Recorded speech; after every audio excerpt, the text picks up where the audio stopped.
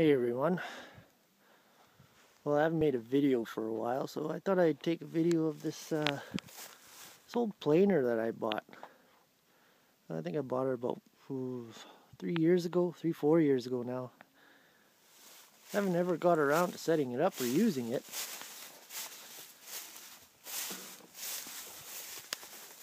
It's pretty old.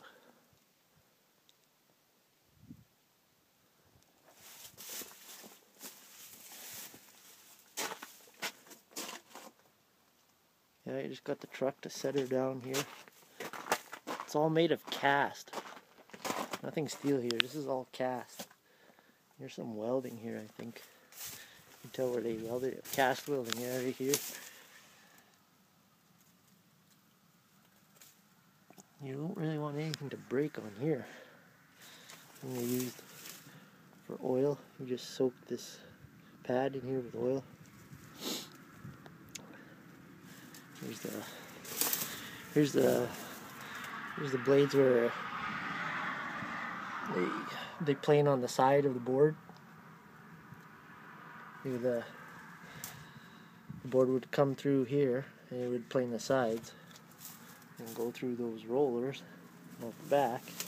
Here's your main here's your main blades right in there somewhere. See a chunk of wood there. There's your grab roller, pressure roller. It's got those little those little uh, bumps on there to help grab it, pull it, push it through. Oh yeah, here's a feed roller here too.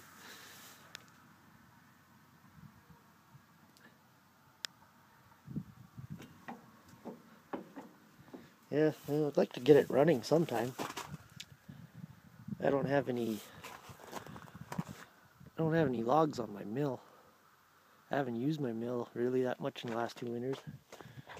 Actually, there's my log pile.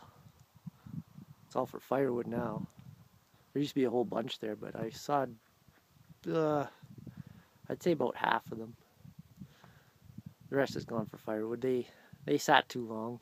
They sat in the in the woods for about two years, and then when I hauled them here, then I hurt my back and I couldn't saw, so just one thing piled up after another, and that's the way they are now.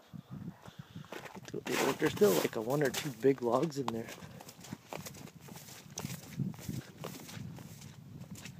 Still wet here. Water from the runoff and the melting snow. See, that's a big one. But you can see how they, they were debarked, it would have been okay. That's rot. But the some of them I sawed right deep inside and they were okay right inside. Here's another big one right there. Of the huge ones here. The ones that right underneath were not too bad too. And I moved these this winter to get them off. So what I think I'm gonna do is I'm gonna I'm gonna cut them cut them all up into blocks like that there and just split them for firewood.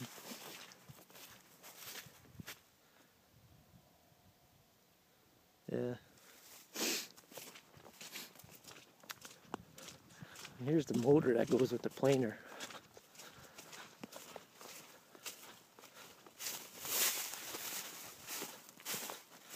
It's a Cummins.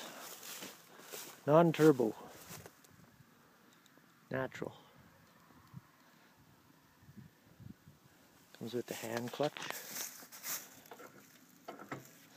Initially, I just really wanted this pulley, and then I'd use a power takeoff shaft off the tractor, but I bought the motor and everything.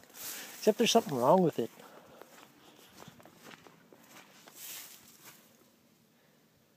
There is oil, uh, no, antifreeze getting into the oil. So, uh, it's either a head gasket or or pump it has this this it's a different injector pump on here. That's it right there Cummins fuel system. Could be out of time and I've, I've heard some guys say that it'll do that. Yeah.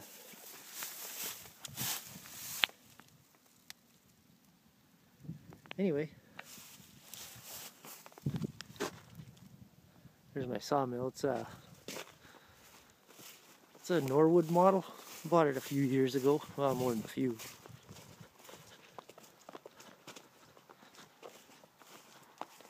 Probably about oh geez, I could say a good 10 to 12 years ago. I'm not gonna take the tarp off right now, but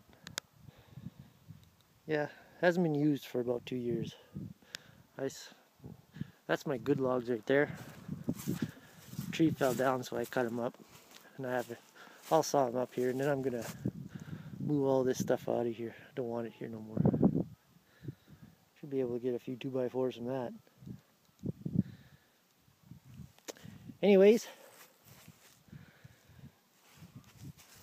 that's all for now.